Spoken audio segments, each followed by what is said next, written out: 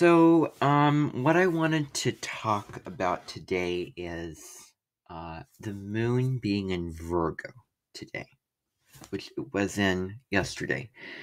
So, the moon in Virgo uh, signifies with the sun in Capricorn all about service, um, giving, humility, um, really looking at the areas of our lives, organizing, um, loving, um, loving to serve um, others, just you know, out of the kindness of your heart, because Capricorn um, achieves and wants to help you, and then Virgo um, really wants to be there um, as well.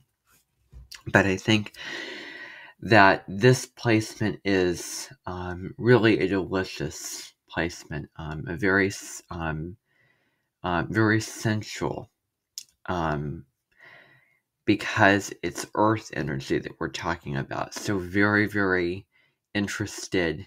Um, well, not necessarily interested, but this is all about the senses, all about the, um, you know, the things that you can see, touch, hear, smell, taste, um, all of those things going on. So it's really the time to indulge. It's really the time to um, look at the simple pleasures in life um, with the moon in Virgo. Because let's face it, you know, this Christmas is a heck of a lot better than last Christmas. Because I can't share was just a lot of negative things going on, a lot of um, people having negative experiences. It was just not normal. This year, when the moon is in a more grounded sign than Taurus, which is Virgo, even though I don't believe that, um, I want to say that because, um, you know, this is really the year. And people can really spend Christmas the way that it should be spent this year unlike how it was last year. So this is a new beginning.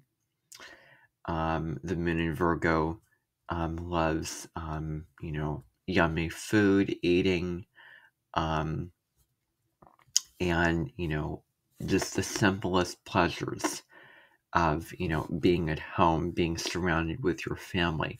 And the best gift that you can give is your presence. The present is your presence. And that's what I want to say. So, um, and Virgo can also be very, very hardworking um, as well.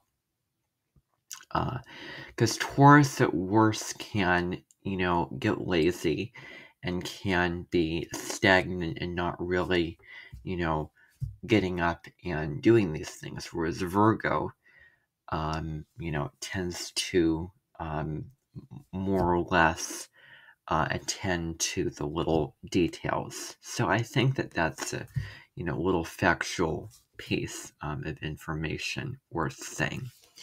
So thank you for watching this horoscope, which I just wanted to make.